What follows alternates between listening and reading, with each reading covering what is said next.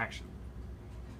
This program on the computer is WordQ.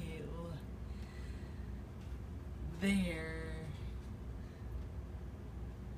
there is a voice that says what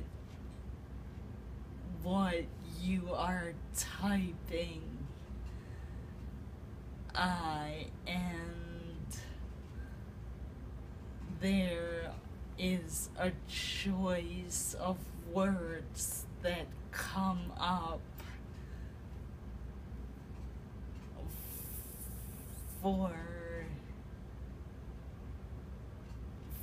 for you to choose from.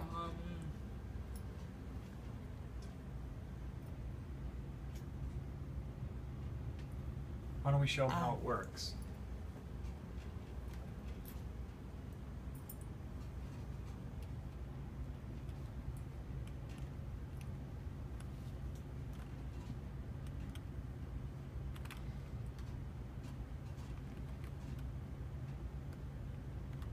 with